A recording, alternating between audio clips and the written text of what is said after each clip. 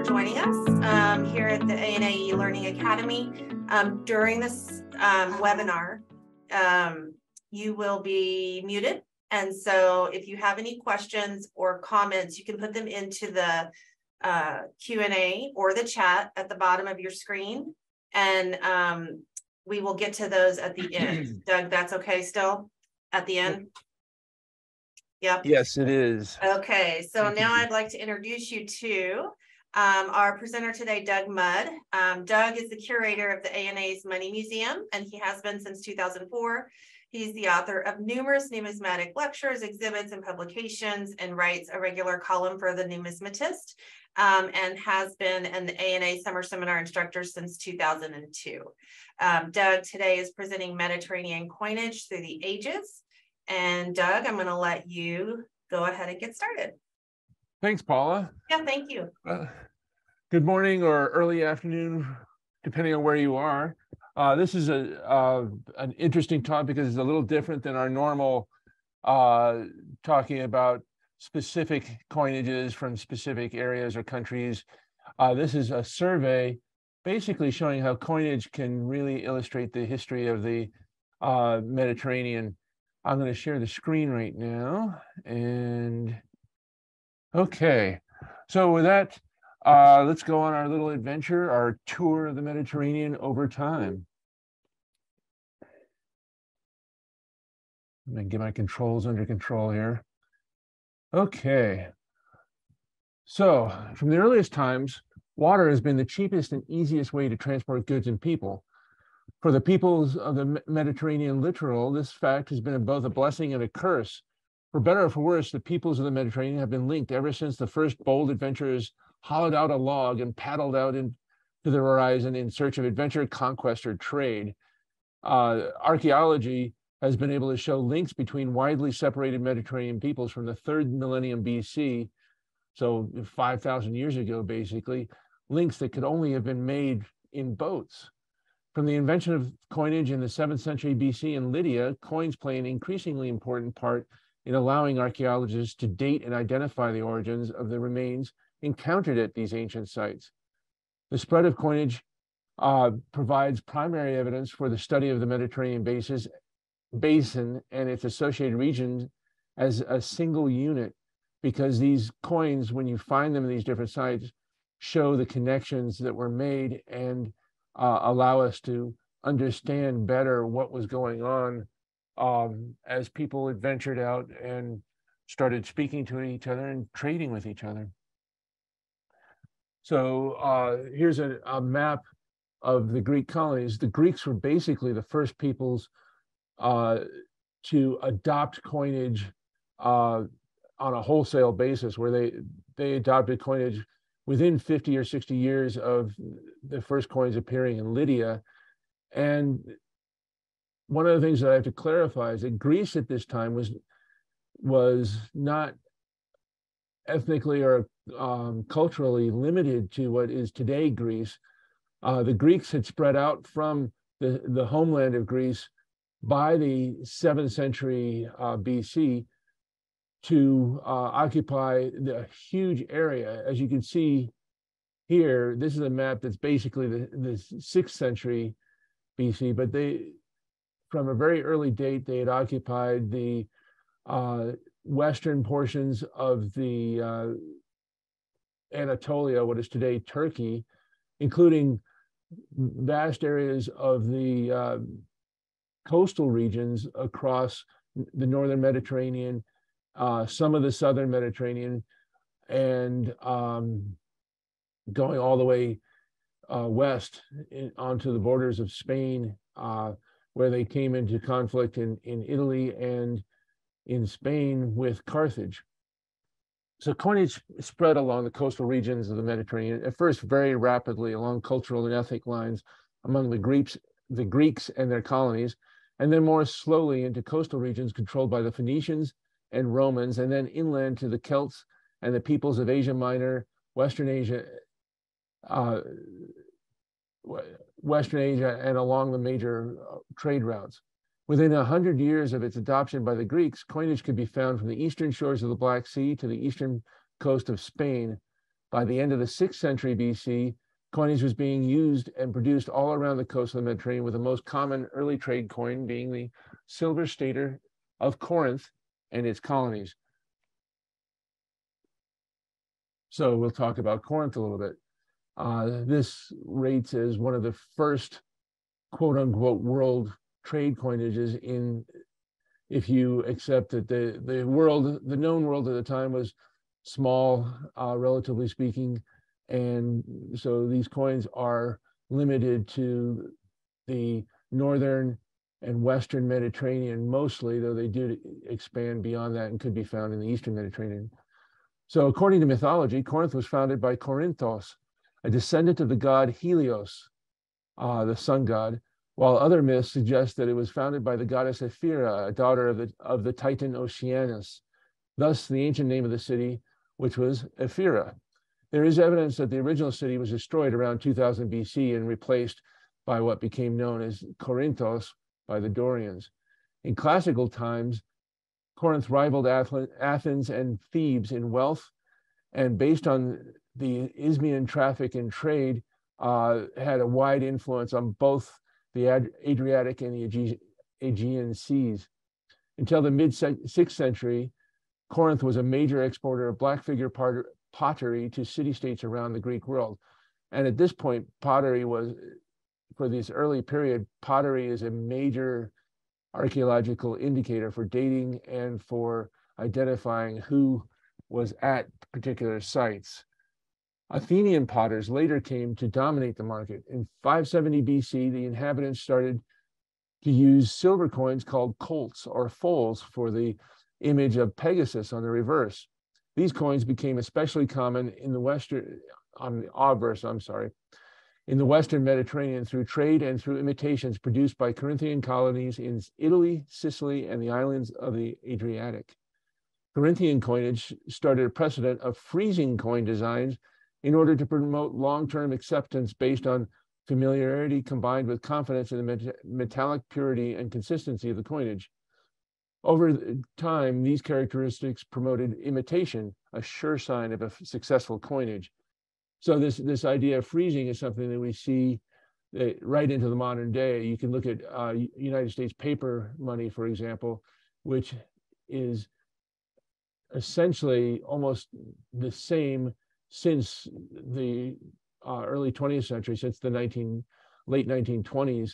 Um, and the primary reason for this is to promote use of the money by people not familiar with the language or even sometimes the country. Uh, it was enough that these coins and later paper money are recognizable by people that are not part of that empire, that nation, uh, and that they have confidence in it. And in order to promote that, you keep the coinage the same. So Corinthians produced these coins for hundreds of years with basically the same design with minor modifications over the years. So you can see an archaic example uh, at the upper left, for example, 550 to 515 BC. The Pegasus is very stylized, looks very much like uh, well, what's known as archaic art, but it's related to what was going on in the Middle East, um, places like Assyria. The art is similar. Then you get uh, slightly later, and the the Pegasus is starting to show more motion. It's in flight. Um, you replace the punch on the reverse with a punch that has the head of Athena added to it. And as time goes on, you can see how the style changes. And these coins would be found typically throughout the uh, coastal regions of Italy, Sicily, on the islands of the Adriatic, into Greece itself, and to some extent uh, further east along the northern shores uh, uh as you approach the Black Sea. And they would also sometimes appear in other areas, but that's where they were most commonly located. Athens is the next great uh, world trade coinage. Now, Athenian coins um, became extremely widespread and uh, also extremely famous for centuries uh, for a number of reasons. Uh, Athens became the producer of the first uh, trade coins because it had a an excellent location in a harbor, positioned as it was on an extension of the Greek mainland into the Aegean Sea. Its harbor was a natural stopping point for merchants. Second, Athens was fortunate to be located near the rich silver mines of Mount Laurion. These mines provided silver in great abundance throughout the classical period. So over for over uh, 250 years, uh, silver was being mined from the, those mines at a at a large amount. This allowed the Athenians to produce huge numbers of high quality silver coins for domestic use and for export. Third, Athens was able to extend its power over the whole of Attica, the, the, the coastal region uh, where Athens is located was, was by Greek standards relatively very large, which gave it a uh, large economic base and allowed it to become a major manufacturer of trade goods and produce sufficient food for its own needs. Athenian tetradrachms were produced with essentially the same design for over three centuries and in such huge numbers and consistency that they were accepted as the most trusted coin trade coin in a huge area encompassing most of the Mediterranean and extending deep into Asia. These coins, nicknamed owls, because of the owl on them, obviously, became a recognized and reliable standard for trade throughout the ancient world and were heavily imitated in many areas from southern Arabia out to as far away as Afghanistan and the borders of India. The coinage of Athens continued to be a trade standard until uh, around the, the second, first century BC, uh, though they were partially supplanted by the coins of Alexander, with few changes in the basic design over the whole of that period. The head of Athena re remained basically archaic in style, uh, with only minor changes in the helmet, hair, and earrings until the second century BC. On the reverse, the major changes included the early addition of a crescent moon to represent the Athenian victory over the Persians at the Battle of Marathon in 490 BC, and later the addition of magistrates' names and symbols during the second century BC. So these coins um, today are still extremely common. There, there, so many were made, in fact, that it's proven impossible so far to do die studies. It's every time you find a new hoard of Athenian tetradrachms, uh, the new dies located and are so numerous, and there are so few matching dies with other series that, unlike most of the ancient Greek coins, no one's been able to create a die sequence uh, for more than just a minuscule portion of the series.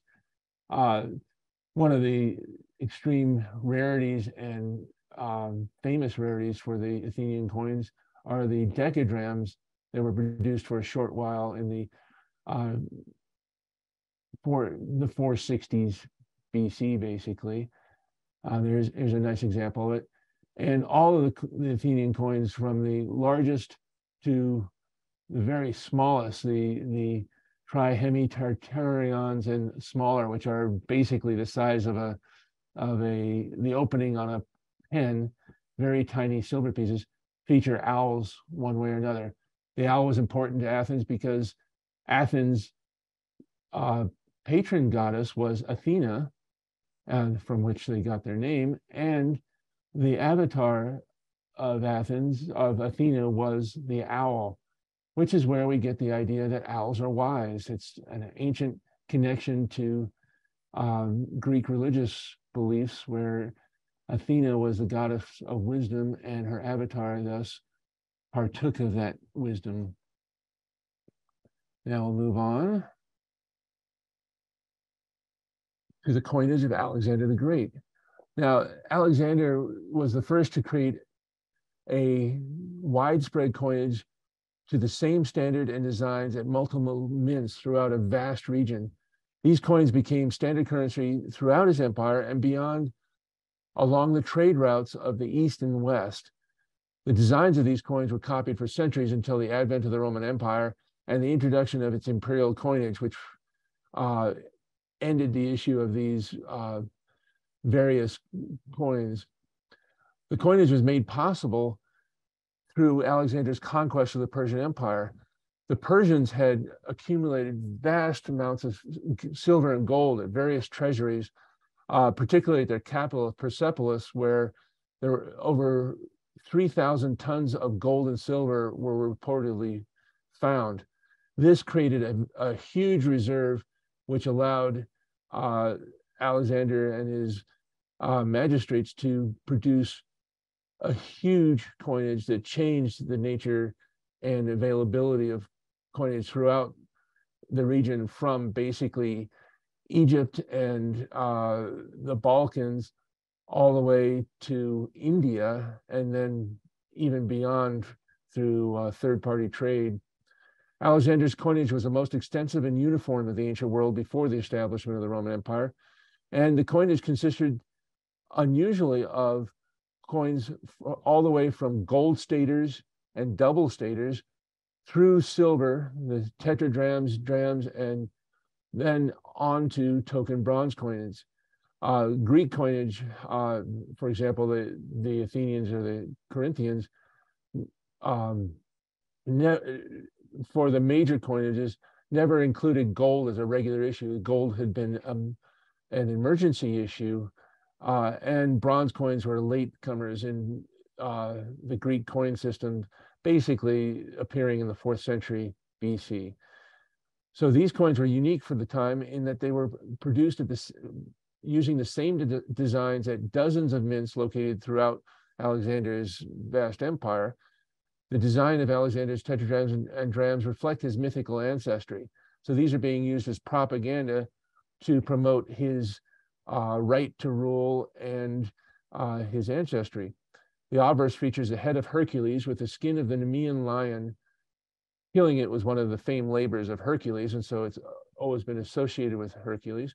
Hercules was was claimed as one of Alexander's ancestors, and since he was the son of Zeus, chief god, chief of the Greek gods, Alexander placed Zeus enthroned on the reverse of his coins holding an eagle, which was the was Zeus's avatar. Thus, he pointed out that he had he was related to the gods, and this gave him the right to rule. And here is a nice selection of the coinage that was issued during his time. And these coins appeared throughout the Mediterranean, particularly the East Mediterranean, where his empire was, but well beyond as well. So in in Europe, in the uh, Celtic areas, uh, Alexander the Great's coins were imitated. You had the coins appearing as far as the uh, western shores of India and occasionally even as far as China through the trade networks that were developing along the Silk, Silk Road. Here's a map where you can see what Alexander's empire looked like at his death and how it divided up soon afterwards. The Hellenistic era began with Alexander the Great's death in 323 BC and lasted until the Roman takeover of Ptolemaic Egypt in 30 BC. Alexander left a world permanently changed in which Greek language and culture would form the intellectual foundation for the next 300 years and beyond. Greek culture dominated from Italy to the western borders of India. Greek was the common language of diplomacy, government, and scholarship throughout this vast region. At Alexander's death, his empire was split between his generals. Four decades of civil war resulted in the creation of three major kingdoms, the Macedonian, Seleucid, and Ptolemaic kingdoms, along with numerous smaller ones known collectively as the Hellenistic kingdoms. Each developed its own distinctive coinage based on the use of realistic portraits of the reigning monarch, along with legends uh, that included their names, accomplishments, and their attributes. These were intended to make sure that the people they ruled and people beyond knew who their king or queen was and what uh, what their latest accomplishments were, whether they be uh, successful battles or just prosperity, uh, good luck for their people, all those kinds of things. The use of realistic portraiture by the rulers of the Hellenistic kingdoms was the final numismatic uh, new element introduced by the Greeks before the advent of the Roman Empire. These portraits form the foundation from which Roman imperial coinage would develop from the first century BC until the end of the Western uh, Roman Empire in the in the fifth century AD. Here we'll talk about Roman coins for a little while. So uh, the Romans were latecomers to to the issuance of coins. Basically, central Italy, uh, above the areas where the Greeks had settled, uh, they had so many different cities in southern Greece and in Sicily that the region became known as Magna Graecia, Greater Greece, because there were actually more Greeks living in the area and they were wealthier than the, the homeland. So uh, the Romans had examples of coinage from an earlier period, but Italy in general and the Romans in particular uh, saw no real need for coinage. They were basically an agrarian society. They, they relied on farming. They didn't do a lot of long distance trade. Their trade was uh, mostly short, local, and really didn't require coinage. However, the Punic Wars became a watershed event, event in the development of Roman coinage. The stresses of the of the first Punic War uh, forced the Romans to introduce the first coins, and then the second Punic War permanently changed the Roman uh, economic system by creating a permanent uh, need for coined money for the first time. So, in order to pay the troops, uh, the Punic, the Second Punic War in particular, uh, required the normal uh, Roman military system, which depended on the soldier farmers, uh, to change because these these soldiers were no longer able to go back to their farms and farm during the normal farming season or harvest.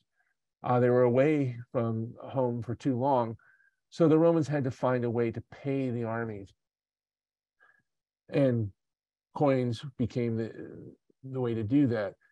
The most lasting change uh, once they started coinage was the introduction of a new denomination, the silver denarius, in about 210 BC. Uh, towards the latter part of the Second Punic War is when they issued these coins. The denarius itself was was to last essentially unchanged for the next 400 years though the designs changed over time, the, the size and basic weight of the coins did not. And they became the standard co trade coinage throughout the Mediterranean and beyond uh, from the late Republican Roman period uh, to the period when Rome had conquered all of the Mediterranean basin and uh, mandated that their coins were the legal tender.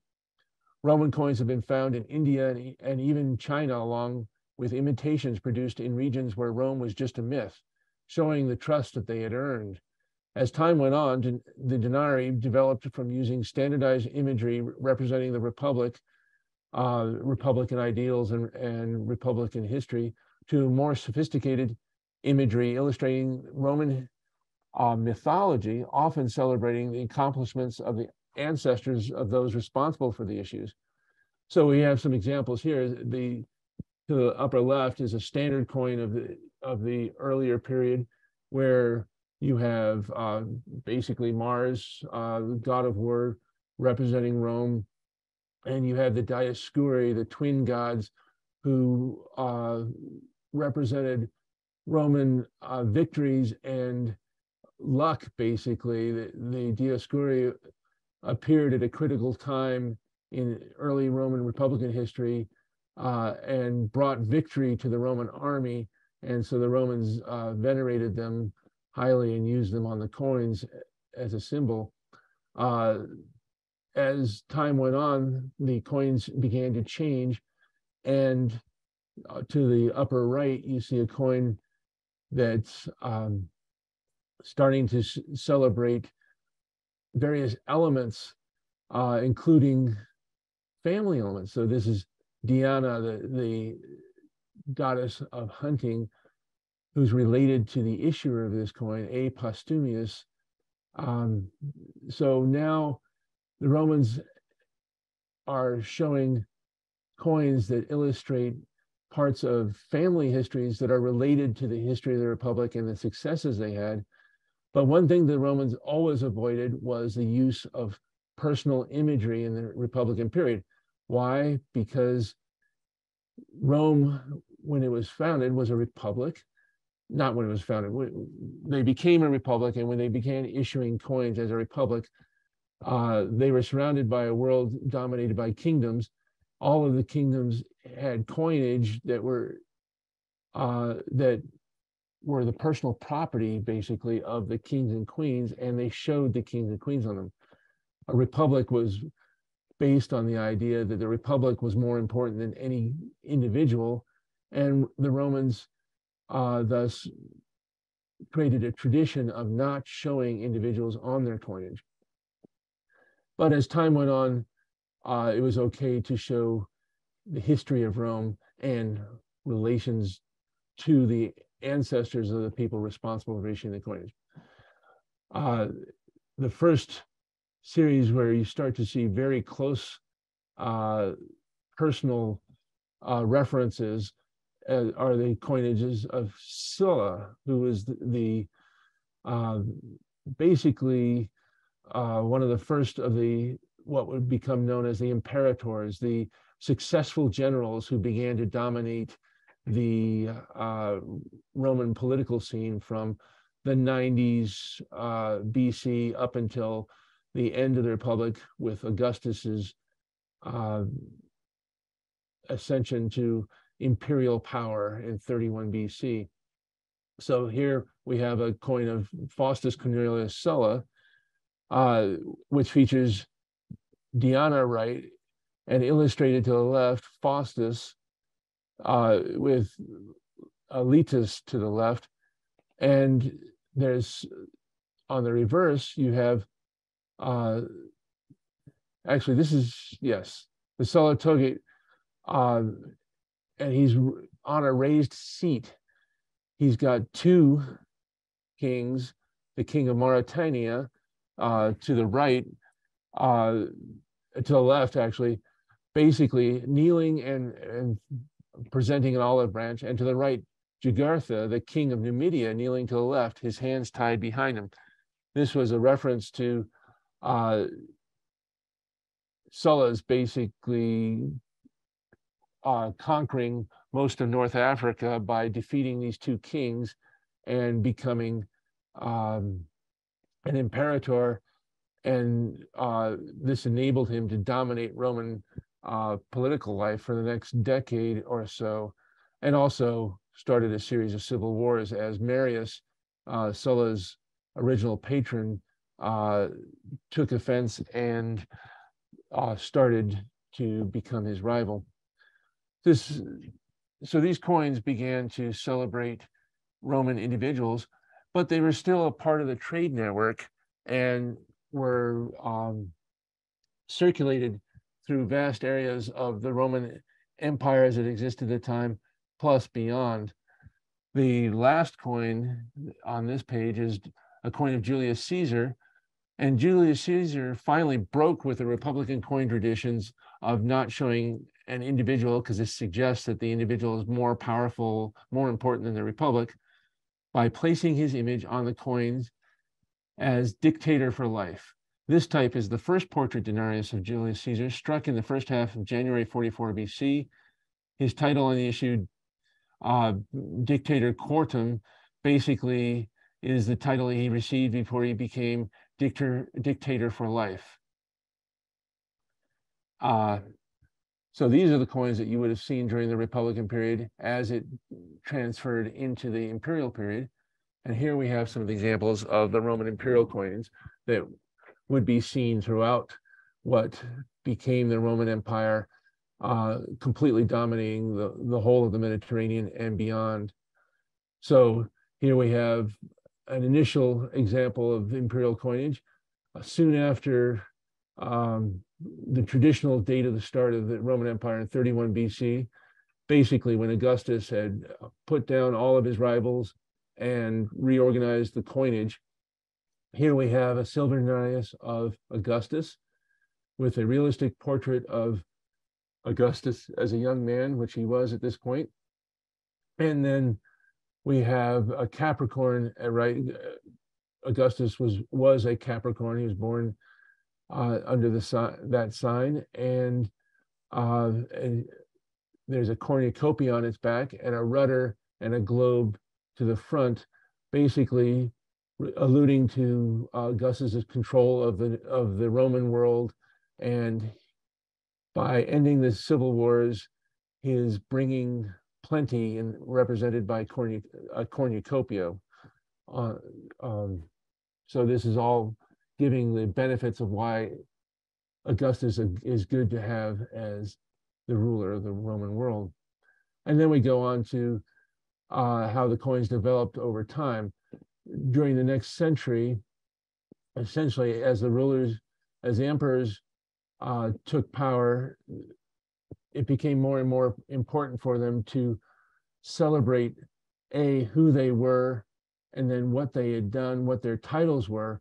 Under Augustus, it was less necessary because he was basically last one standing, uh, and he had earned fame by traveling throughout much of the Roman world, and so he his name was well known, and it was less important to give details. Whereas under Trajan, for example, uh, the the legends get longer and longer. So we have uh, a coin with a very long legend, basically saying this is Trajan the Augustus, who's conquered Germany, Dacia. Uh, he's been a, uh, the uh, consul for six times, and he's the, the, father of his country, et cetera, et cetera. On the reverse, it's it's also very clear that he, uh, why he's great. Well, he's the best of, of princes, and he has created the Via Tri- Traiana, the the road that would connect um, the eastern uh, parts of the Balkan to the western parts of the well, the eastern parts of the empire to the western parts of the empire through the Balkans. And uh, this becomes the very epitome of the typical Roman coinage for centuries, where the emperor's deeds and portrait are shown, and then whatever particular qualities that they want to, to celebrate on the reverse. So these coins become the standard that you would see throughout the region depicted here for basically 500 years.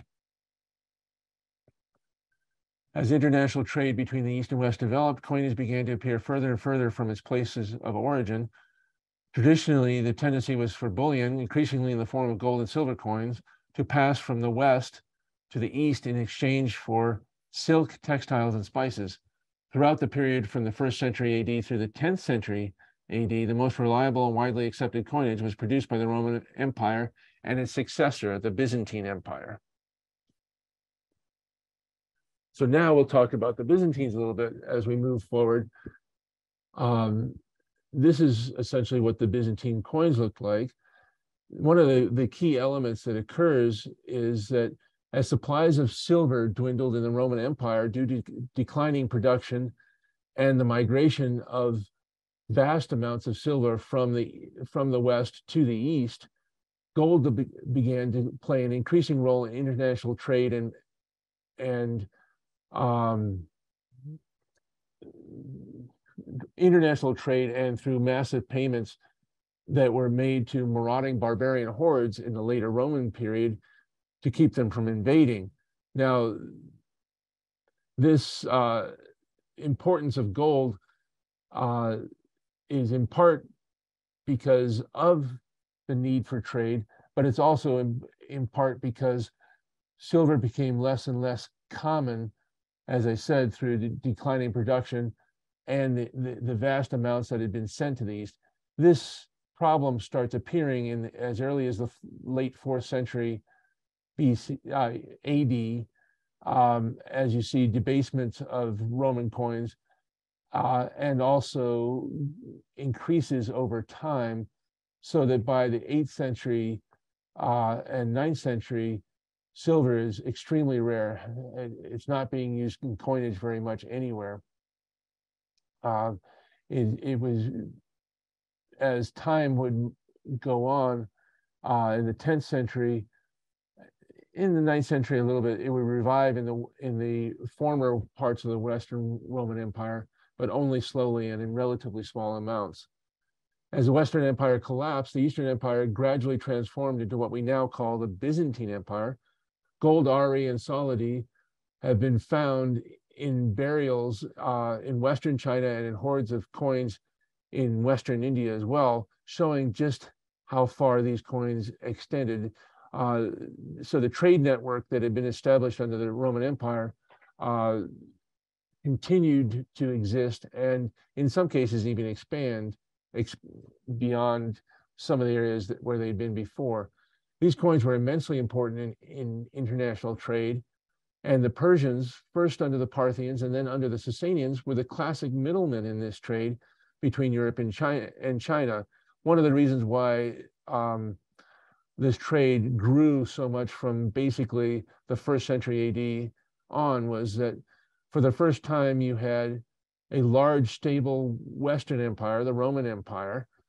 And in the East, you had the expansion of China through Central Asia, so that around the first century AD, um, with the advent of the Parthian Empire, you actually had the ability to travel between three organized and relatively um, safe empires uh, where traders could travel from one end of uh, the Eurasian continent to the other uh, without the uh, basically disorganized and uh, barbarian uh, nomadic tribes and others in control.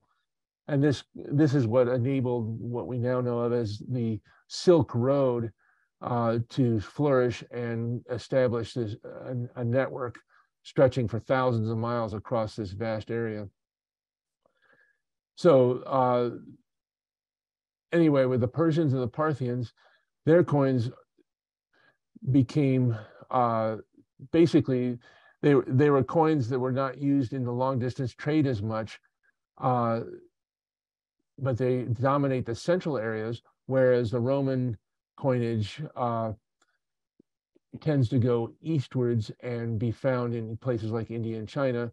China did not use silver and gold in trade, and India and China both traded commodities to the West. So Indian and, Chinese coins are rarely found in the West. They are found in the Middle East to an extent, but it was the commodities that were more important in that direction. Now we'll go the Byzantine mints. Here's a, a nice map of the Indian, uh, the Byzantine mints that shows where they were all struck, but it also shows the extent of the Byzantine Empire at its early period before it lost the Western areas, including Italy, Spain, France, and North Africa, uh, except for Egypt, to the Visigoths and the Ostrogoths and Franks and other Germanic tribes that invaded during the that era. This created a essentially a um, a blank as far as coinage goes in the western parts of the Mediterranean for centuries, and it wouldn't be until basically the 10th century that coins start to appear in anywhere near approaching the amounts they'd appeared earlier uh, under the Roman and Byzantine empires. With the advent of Islam in the seventh century AD, the traditional patterns of trade began to, trade, to change in the Mediterranean area. Islam introduced a new political element into the ethnic, religious, and li linguistic mix of the ancient world. The new, the new religion rose as a politically dominant power that was able to conquer a huge swath of territory with, within its first hundred years. Basically, they defeated the Byzantines and they defeated the Sassanids uh, Byzantines were not conquered totally, but the, uh, the Sasanian Empire collapsed under the Arab onslaught. The Arabs at first did little to change the status quo they found in the various areas that they conquered.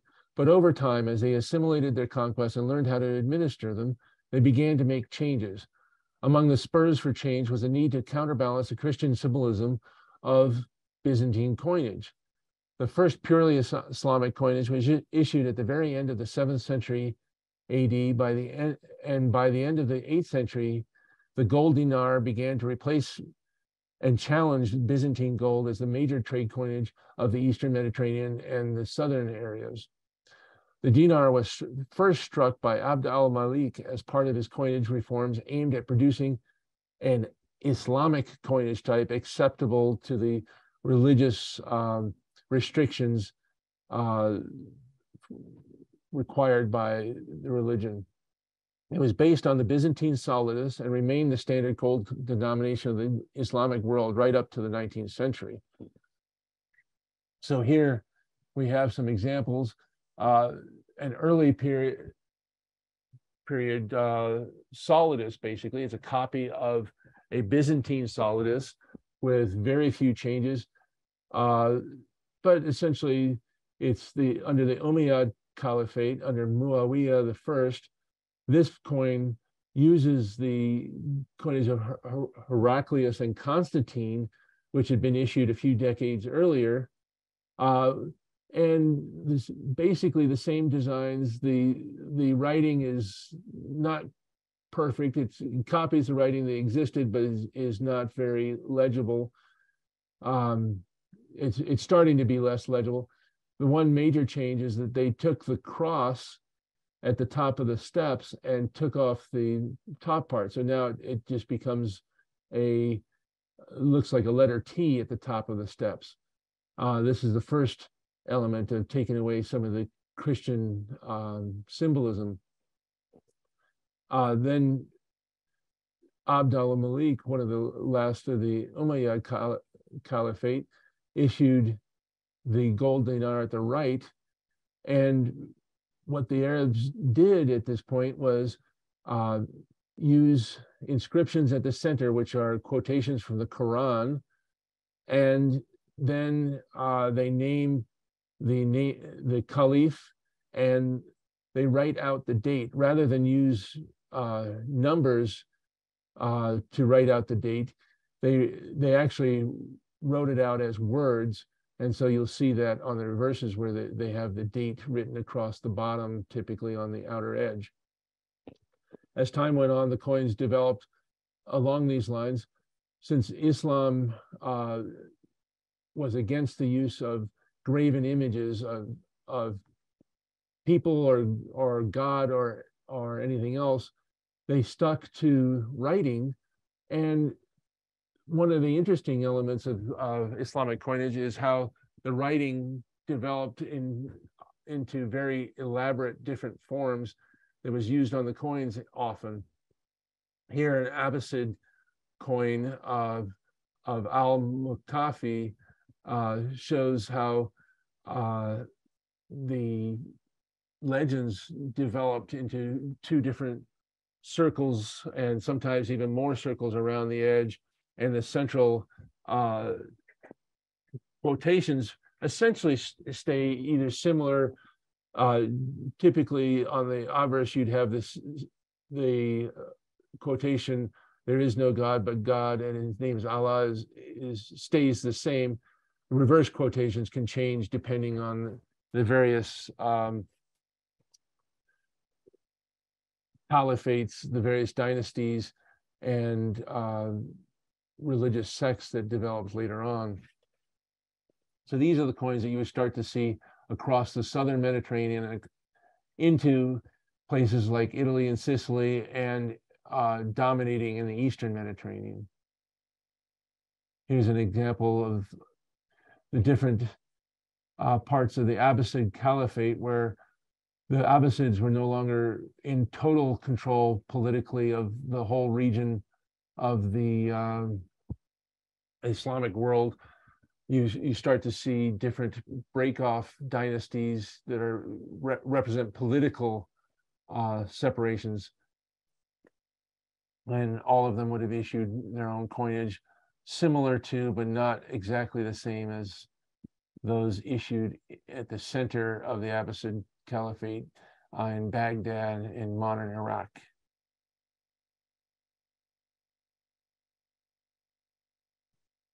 So after the the revival of the Western former areas of the the Roman Empire, uh, basically Christian Europe started to revive and increase trade. They needed coins. Well, the decline of the Byzantine military and economic power during the 12th century um, resulted in the rise of new trade coins. The, the West had relied to the extent that they needed coins on Byzantine coinage. Um, and then slowly over the period from the 8th century to the 11th century, they began to issue small uh, silver coins based on the old denarius, but of much lighter weight. They, they became known as what we call the penny today. Well, for trade, new coins needed to be developed as this trade uh, expanded. The first of these was the Fiorino, Fiorino de Oro, or the florin, which was introduced in Florence uh, in 1252. It quickly became a standard gold coin as the Byzantines continued to debase their own gold coins as their uh, economic and military situation worsened, uh, with especially with the advent of the Seljuk Turks and after the, the their major defeat at Manzikert, which uh, essentially meant that all of what is now Turkey, central Turkey, became dominated by the Turkish uh, tribes of the time. Eventually, the Ottomans would take over and become their their final enemy that took over the last parts of the Byzantine Empire. Now, the the, the Fiorino de Oro or the florin features a lily, which is a symbol of the, the city of Florence on the obverse, and a figure of Saint John on the reverse. Saint John was the patron saint of uh, Florence. At the time, Mediterranean trade was dominated by the Byzant, which was the colloquial name for the, the dinars of the various Islamic and Crusader states. Uh, the, the Fiorino, proving to be a sound and reliable coin, soon overcame the Byzantine popularity, uh, especially since they were not subject to uh, debasement as uh, the various uh, issuers of the Byzants uh, had begun debasing their coins depending on their particular needs at the moment. This allowed the, the florin to become the first European gold coinage since the decline of the Roman of the Byzantine solidus in the 11th century. The type was imitated throughout Europe, with vast numbers struck not only in Florence but in Hungary, France, and Spain as well. These early imitations generally conform to the lily saint type, with later issues gradually developing more local types while still retaining the Florentine weight standard. Now, to the right, you'll see Venice issued its own coinage uh, known as the Ducato or ducat, so named because of the uh, ruler of Venice was known as a doge, and on the coins themselves, they have uh, the Roman form of it, the ducat, as in ducatus. Um, so in 1284, they issued this coin, after the continued debasements of the Byzantine gold hyperperons had forced the need for something reliable for them to use in their expanding trade networks. On their coins, the Doge is, so, shown kneeling before Saint Mark, the patron saint of Venice, and receiving the standard of Venice from him.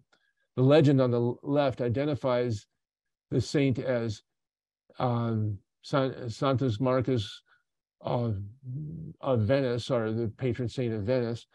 And the legend on the right identifies the Doge with his title Dux in the field, which is where in the Western world in English we get the name Duke. On the reverse, Christ stands among a field of stars in an oval frame with a legend, O Christ, let this duchy which you rule be dedicated to you. The, the Venetian ducat became the preferred gold coinage of the Eastern Mediterranean trade for centuries until Napoleon ended the Republic in 1797. And uh, as time moved forward during the uh, 16th, 17th centuries, a new coinage appeared that became ubiquitous throughout the world and to some extent in the Mediterranean as well, because of the power the, the Span the Spanish Empire wielded through Italy and Sicily and the Western Mediterranean.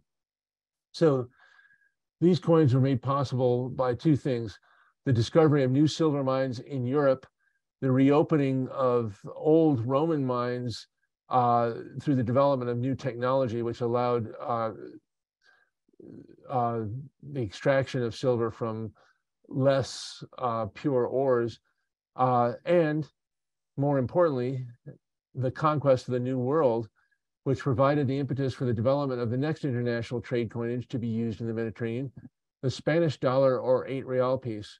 It also revolutionized coinage throughout Europe.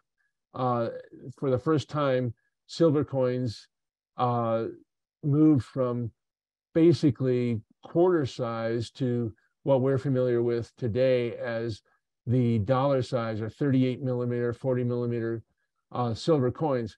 There was enough silver around that large, high intrinsic value silver coins could be used uh, in trade in place of using the, the gold coins, um, which had been used by the uh, Muslim states and by the Byzantine Empire one of the, the benefits was that these coins now allowed for a much larger area on which to actually um, do more intricate and often beautiful designs.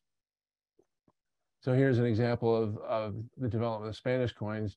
So you see the the earlier uh, eight real pieces, and this is a cob type uh, basically fairly crude, intended uh, for fast production and used for trade without too much attention to the beauty um, and messages on it. Then you have uh, 1732, you have the introduction of the uh, pillar dollar, and I've got the wrong date on the uh, the portrait dollar, which was actually introduced in in 1760, but um, you have the, the development of the coins, and these these coins literally became world the first world trade coins because you could find them across the Mediterranean, but also across the world in uh, anywhere from China to Europe and the Americas. And here is a map that shows you how the trade developed. So these are the trade networks that were used. And basically the, the most common coin by far that you would see uh, on the ships following these routes would have been the Spanish pieces of eight. And then the final chapter of the story, which we will be covering today, we, we're, we're not covering the 20th century, is the Maria Theresa Thaler. So the Spanish dollar began to be replaced in North and East Africa and the Middle East during the 18th century by the Maria Theresa Thaler, which, through a strange set of circumstances, had its design frozen as it was, as it was at the time of Maria Theresa's death in 1780. The fact that the design remained unchanged in every detail became an important element in the coin's popularity and acceptance as a legitimate trade coinage throughout a vast region for almost 200 years. In fact, the Austrian Mint is still producing Maria Theresa thalers to this day, though they have not been used as legal tender in Austria since 1851 and are no longer officially used as a currency in any other country. However, um, the, these coins were first introduced as a World Trade coin in 1741. They were named after the Empress Maria Theresa, who ruled in Austria, Austria-Hungary and Bohemia from 1740 to 1780, and it, and her portrait is on the coin. On September 19, 1857, the Emperor Francis Joseph of Austria declared the Maria Theresa thaler to be an official trade coinage after taking it out of legal tender status within the Austrian Empire, um, the Austro-Hungarian Empire. So the, the Maria Theresa Thaler became the most common, was most commonly to be found throughout the Arab world, especially in Saudi Arabia, Yemen, Muscat, and Oman, and in Africa, East Africa, and India. The US even produced, produced counterfeit uh, thalers for use in the Japanese occupied Indonesia during World War II, as it was uh, still a performed, preferred form of currency, as did various other governments at different times, including the British, the Italians, and others. So the Maria Theresa thaler was produced by numerous different entities, and um, it was being used throughout a, a vast region, uh, particularly uh, towards the end of its life uh, in Eastern Africa, where the last uh, evidence, direct evidence of it being used as a currency comes during the 1960s and, and even a little later in the remote areas of Eastern Africa, where the coins could still be found. They were being made into jewelry, but also being used in trade. And the last uh, commercial orders for the Maria Theresa thaler uh, occurred around 1960 at the Austrian Mint, when large, uh, a large, a couple of large orders were made by Middle Eastern uh, entities for use in trade. So, and today you can still buy them. They're still being produced by the Austrian Mint as a collector's piece, as a as an uh, a nice souvenir sort of item, but they they follow the same standards as they they always did. And here's an interesting map that shows you just how extensive this could be. So that you'll see on here that the Habsburg mints within Europe, and then the non-Habsburg mints that include places across uh, the Middle East. So you'll see the Najd, Kuwait, Al Hijaz, and even in China and Bombay, these coins were produced. Down in the south, you see Mozambique produce them and other places.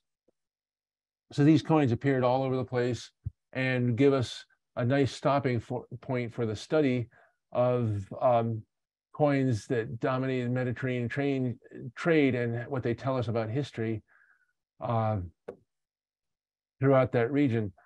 So with that, I will end my my presentation and open it up to anybody who has questions. Please send them um, through the chat and we can go from there.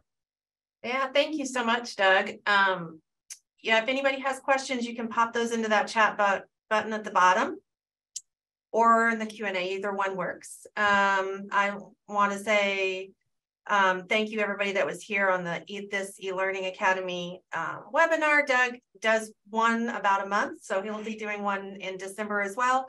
So make sure to check back um, on the website for that, um, money.org, and just go to the e-learning academy. Um, I don't see any questions popping in, so I'm just gonna see, Doug, did you want to say anything else or?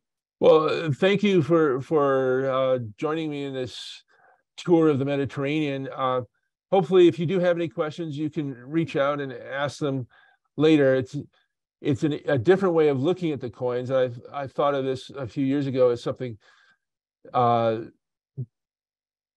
sort of a novel way to approach this because it's a region rather than a certain uh, country or, or empire.